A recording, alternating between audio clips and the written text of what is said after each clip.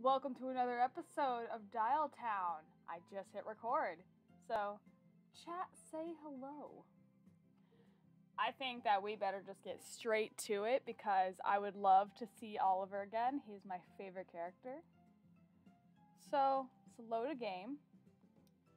Don't mind the third file. I tried doing a different route like yesterday. Cause, yeah, one my friends told me do it. All right, let's get back to Oliver's route. All right, you meant Flamingo Jail. Feast your eyes, Olive Man. The big house. You certain this is a good place to set your tragic past? You don't think captivity is tragic enough? It's kind of hard to be truly bummed out while sitting next to a tap tapir tapper. Do not feed the hairy ones. What is a tapir? Hold on, I'm looking that up. What are, what are they? Oh my gosh, that's hideous! Oh my god, that's the most disgusting creature I think I've ever seen in my entire life. Ugh. I think I found a new hate. I think I just found my 13th reason. Oh my gosh. That's horrific. Oh god, I feel like Wilbur Soot when I look at an when he looks at an anteater. Oh my god, kill it with fire. Oh. Oh, no, get that no, bye. Anyway. so you're telling me if you got excruciatingly bad what? So you're telling me if you got excruciatingly bad news. Define excruciatingly bad. Let's say you find out your third pet rock was swept up in a tornado. Okay, that'd be absolutely heart wrenching. Continue. If you found out about this while outside the tapir enclosure, would the mere presence of a nearby tapir really soften the blow that the blow much? I I think it hit once I'm out of wit. Bullshit, the tapir would do not to comfort you and, and you and you. Theo Roar Russellbelt Adventurer. What's this I hear? The roar of adventure, mayhaps? Oh god, not you. Emmy! My featherless bipedal green friend, you've returned at last. I have not returned. I merely came back to this location temporarily. You returned! Okay, yeah, I'm back. Bully to that then, I say. I. Hey, sorry to interject. Doting kind of boyfriend of Emmy here. He said it! He said the thing! Dwayne the Jock Rawson, please don't ever say those words again. Hydrate, chat.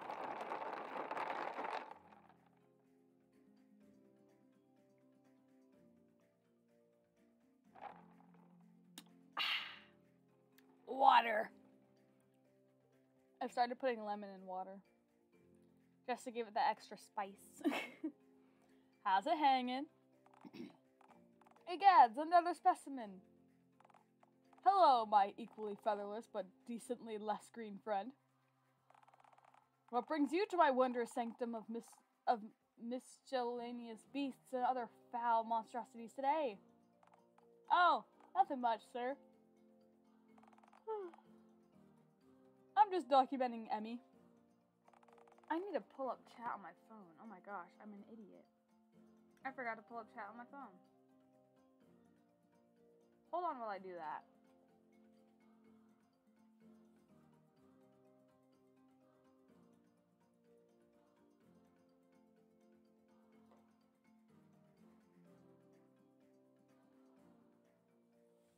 Alright, y'all are pulled up on my phone. We're groovy. We're, we're producing a groovy movie about her life together. My, what a thrilling notion.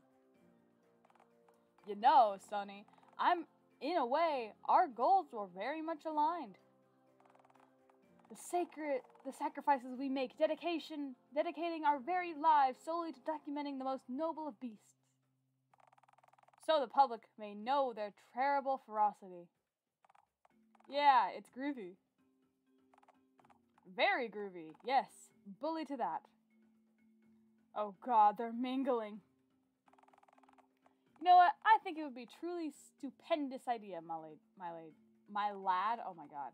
Why, we should exchange information, comrade, to strengthen both of our doziers. Doziers. Hell yeah, that sounds gnarly. I'm sure you have. Oh, hell nah. Oliver, you couldn't possibly fraternize with the enemy. Enemy?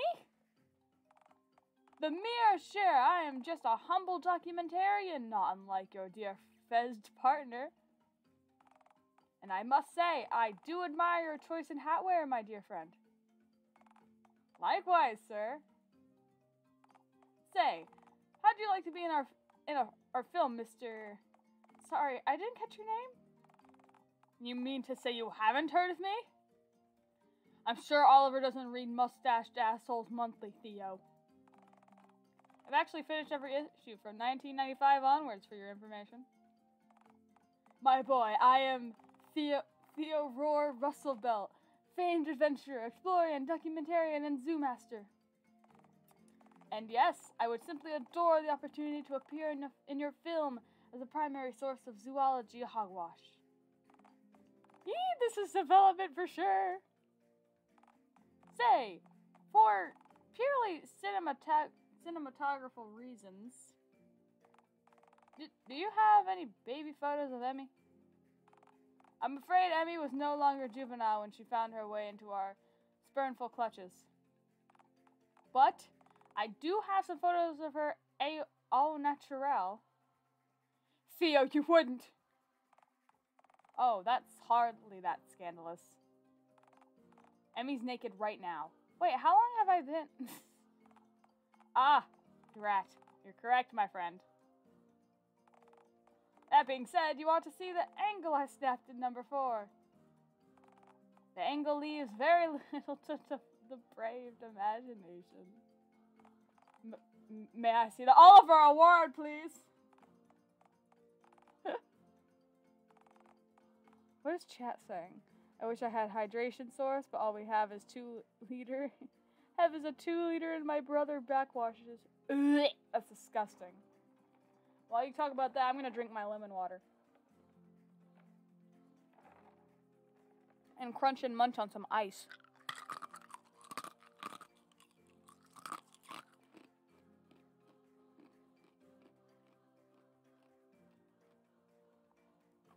We do a little ASMR here.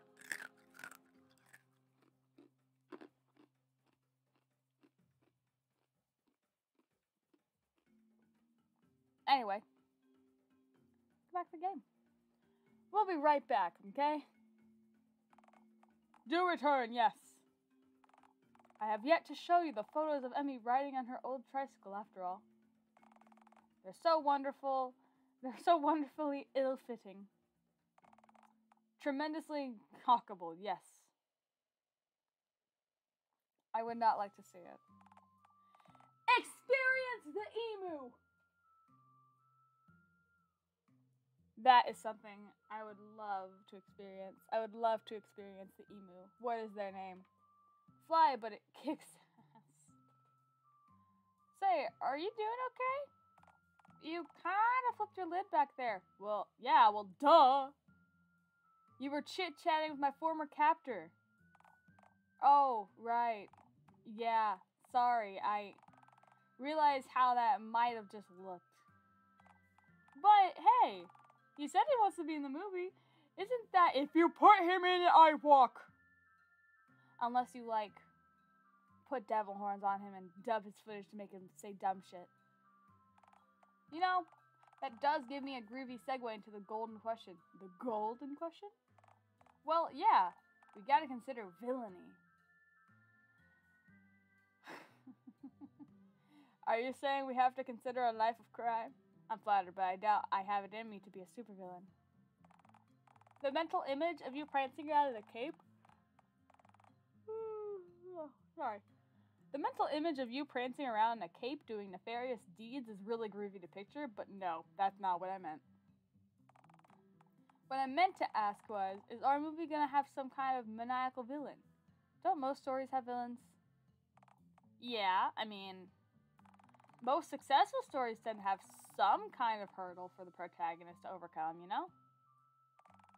There's very sel there's bleh.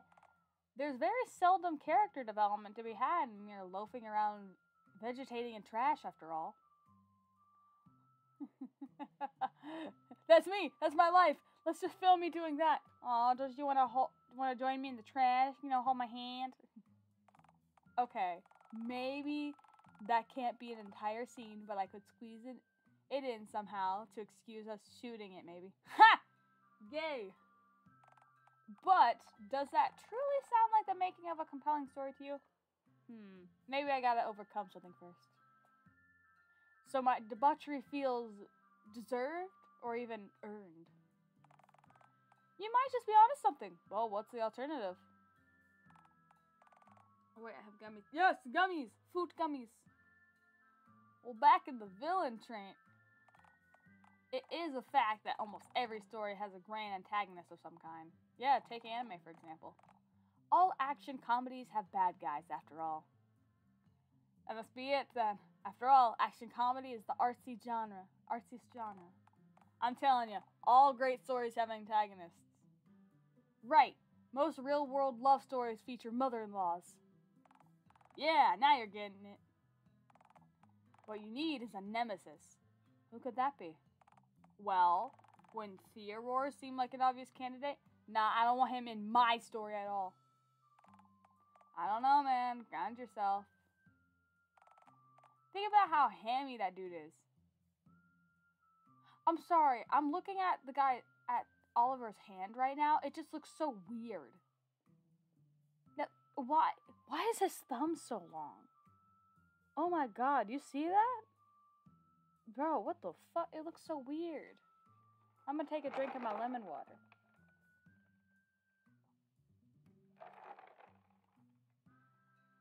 Hydration is important, kiddies. Very important. Think about how handy that is, dude. The dude is. He'd bring a lot of gnarly energy to the role. I am yawning all the time today. Oh my gosh. And give him the satisfaction? Hard pass. Well, alright. You pit. Well, alright. You pitch a villain then. Who do you see as the villain of your story? Uh. Ticket Jerry! uh, little Billy, maybe? What about you? Okay. I'm saving this because I actually. Why not? Overwrite the save. Okay. Wait, what does that say? Possible what? Discussing possible movies villain. Okay. Ticket Jerry. Jerry? Seriously? H- him? Yeah. He always. We'd love a. Marble, get out! he always cox blocks me when I try to enter the fun fair. Getting custody visit. Getting custody visits to see my hatchling is go- gonna be a nightmare. But I mean, is Jerry really the de facto the de facto villain of your personal story? He's kind of just a poor dude who's trying to do the one task that helps him put bread on the table.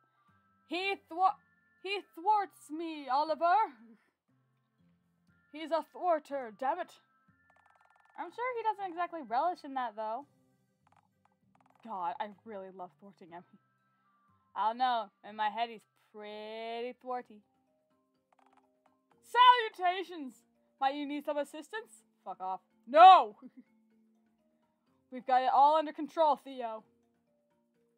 Hurl thine self from our proximity, thanks. Righto, bully to that then.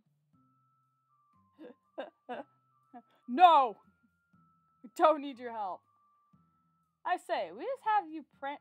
I say we just have you prance around in spandex and call it a day.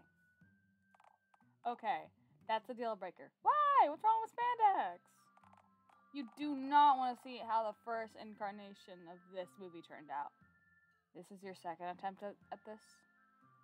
That sounds like something you should have mentioned sooner. I was hoping that if I pretended it never happened, eventually I'd just forget. I can still hear the stretching of spandex in my nightmares. Ah, sorry to hear that. In mine, it's just the familiar screams. Far less emotionally complicated. Ah, hell, maybe this is pointless. I mean, can we really reduce the struggle depicted in a complex narrative down to a single antagonist? What if the true villain was society? I'm not sure that a film we're trying to market to the general public should be about how unpleasant the target audience is. No, no, no. Hear me out. Maybe it's people's percep- perception of me. I can't see it because of me, of course. And you can't see it because it's a view you don't happen to share. Huh. Maybe you're right. You think we need some complicated. I did not read that. Fuck it. I'll just start the movie with a paragraph of Comic Sans text on a solid color background. With the, the exposition out of the way, we can just focus on the action actiony stuff. Ooh, see, there's the issue. Define action, because technically decomposing is an action. Let's say general movement slash activity. Yeah, no, that's not me. Oh, come on. Surely there's some way we can use this groovy. Oh! What we need is the footage of your daring escape. It's the ideal action narrative point, the missing link. How's about we ask Theo for the CCTV footage. Firstly, let's never speak to him again. That's my suggestion. Right. And secondly, I might have co- coated the lens of the nearest camera to my enclosure with a silly putty. With silly putty. What? Why did you? To cover my tracks, of course. Oh, right. Duh. Didn't Theo notice that you were missing, though? Nah, I just left the burlap sack of potatoes in my bed. Wow, this place really is. A sneaky lemur or a particular crafty dingo could get out of here no problems. Where do you think I got the idea? Huh? Okay, so crazy suggestion here. What if you entered one of the nearby enclosures and I just filmed you climbing out all willy nilly? We could totally just slap a camera over overlay onto it, pass that off as your actual daring escape.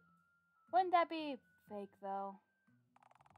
You realize that almost every movie is just people lying on camera, right? Would audiences believe our forgery though? Would audiences believe anything we filmed so far? Right, sold, let's do this. We live in a society. No.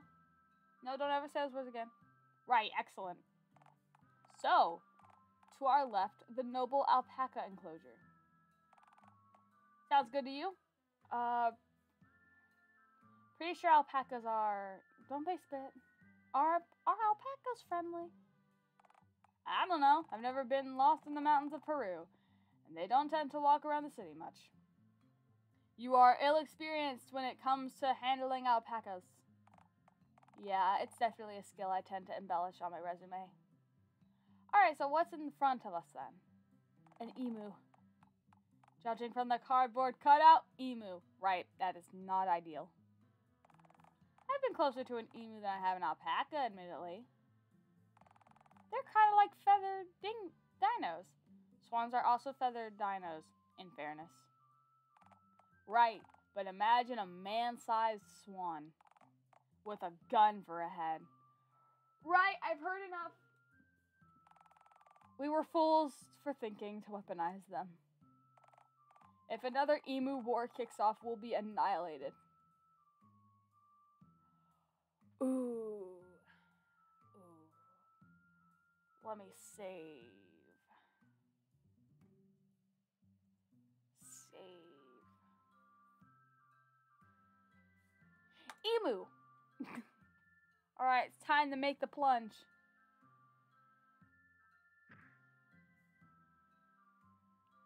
Note, door is now emu proof as of as of 5 7 15. Never again. Hey, there's a little DialTown logo. Alright, I've made contact with the soil. I seem to be in some uncharted land, a new frontier. You're in the emo enclosure. Yes. You getting this?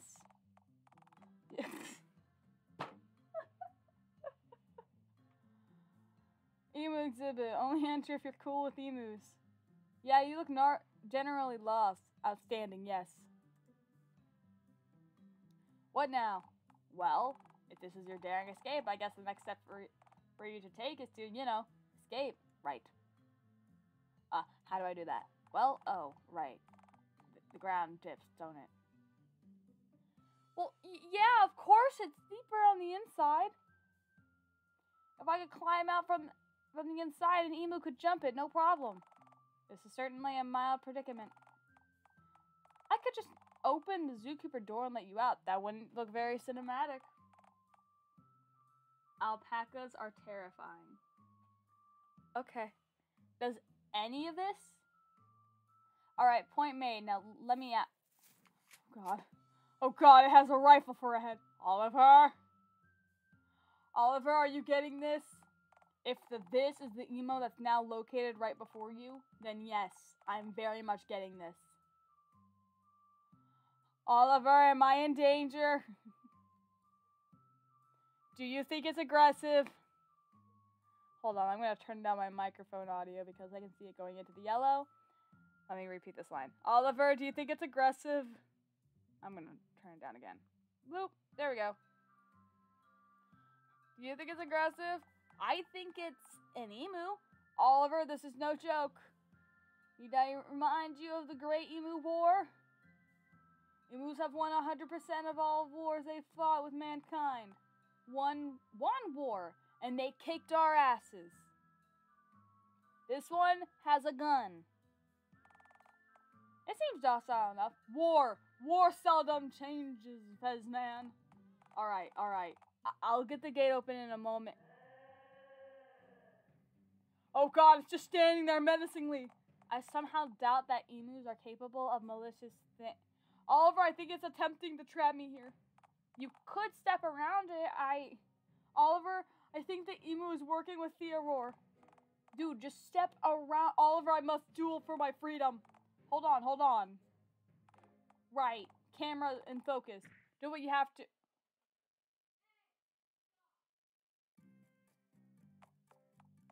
Well, you punched an emu.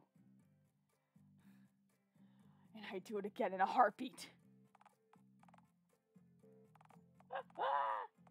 I love this game. I mean, yeah, groovy. This is good stuff. Dude, this footage is top notch. This is totally the last piece of footage we needed. Our ace in the hole. You really think so? I mean, it might be kind of hard to portray the footage as a heroic moment since the raw footage is just heartbreaking footage of you assaulting a massive but docile cotton ball with legs. But I'm sure with a few jump cuts, some borrowed shots from Stanley Thompson Attack of the Emus, I can string some something compelling together. So, that's it. Yeah, I think we're done here. To be frank, I'm a bit worried that Theodore Russellbelt might be might press charges against us, considering you just assaulted one of his specimens. Oh please, he loves punching animals. I'm sure he punches emus constantly. Fucking invite him to the premiere. He'd adore this trash. Right. Right. Okay, I guess that's one guaranteed patron for opening night. Man, am I pumped to get this movie finished. Absolutely heckin' freaking stoked. I gotta get back to the cinema. Cinema, get to editing this for tomorrow night. I am not gonna be getting any sleep tonight. But hey, I'm sure if I go long enough without sleep, I'll I'll be too out of it to feel the impending sting of failure, right? hey, before you go, I wanted to ask you something. Oh, shoot. What's on the cards, my groovy dude? So the cinema's like definitely haunted, right? Allegedly definitely haunted, yeah. Has anyone ever uh died in the building during its operation? Oh, now you mention it. Yeah, there might have been an incident or two. Nothing out of the ordinary, though. Uh huh. Big Bertha might have flattened the last projectionist who performed maintenance on her. Flattened? Rolled right over him, yeah. Turned him into a red pancake. Wait, did you say incident or two? Like plural? Yeah, Big Bertha also kind of tore another maintenance guy's arms off.